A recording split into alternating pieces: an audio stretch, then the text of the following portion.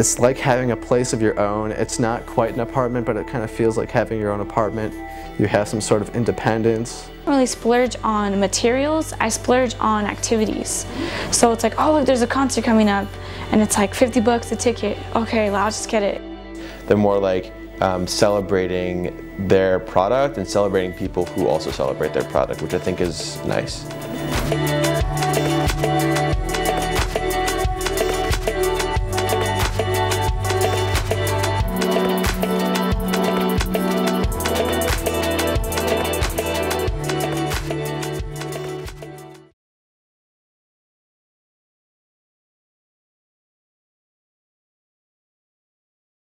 So the essentials came first. Uh, like accents came second. Like I went to TJ Maxx like not too long ago and got like a soap dish and that that sort of thing. Yesterday, I believe I just got like pots and pans and like some sort of cooking stuff.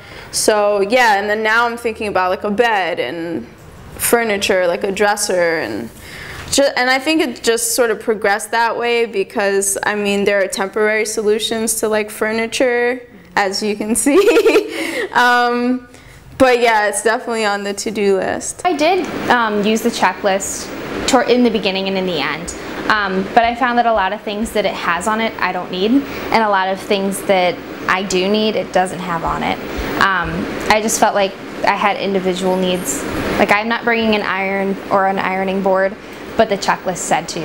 They just have fully set up dorm rooms um, in their catalog and they're a little over the top for like being functional as a traditional college dorm because of like how um, fancy they are in comparison to like what your typical college setup would be.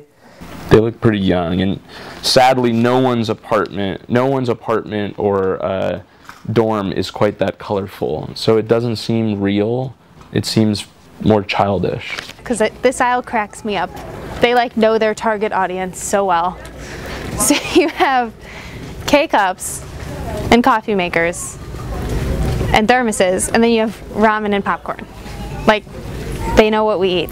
I feel like there aren't many standards like for college like lifestyle stuff. I like how random it is. It's like almost curated almost or like put together in such a way it looks good. Oh that's smart on top of your mini fridge. what is that? It's like a, so smart. It's like you can like put plates and like forks. Wow. the fonts and stuff that's written on there looks a little bit young for me. Um, like these look like teenagers going I would say these, if I were to say like where these kids are going, it looks like teenagers going to high school rather than undergraduates going to class. I just, I don't really care for the matchy-matchy print stuff. It's very matchy-matchy to me, so that's not really what I'm into.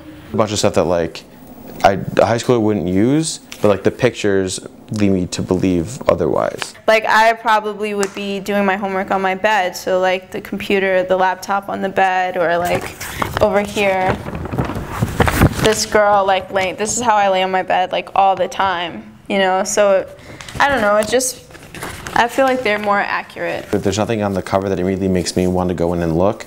Um, unlike the Bed Bath Beyond that had like the campus edition, it had um, they also have like a pack and hold thing where like I guess if you buy it there you can pick it up wherever you go to school. It's like very clean. This seems a little more like less generic and so it feels because it's less generic it feels a little more targeted I guess. I don't know the stuff just came to life in the magazine but not really in the store. Okay.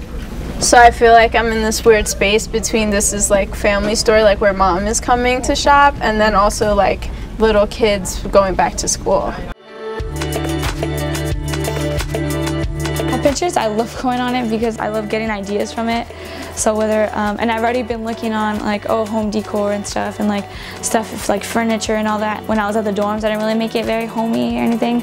So I wanted to like make my apartment like, oh, I want to, you know, if someone comes, they're like, oh yeah, you know, this is Evie's section of the room or whatever. I would say, I mean, Google's an ambitious company. They're taking on a lot of new technologies um, and they're constantly trying to evolve. Like trying on Toms, I was like more, like I was more eager to try on Toms and like be like, oh, do I want these? And like more willing to buy them because of their philosophy.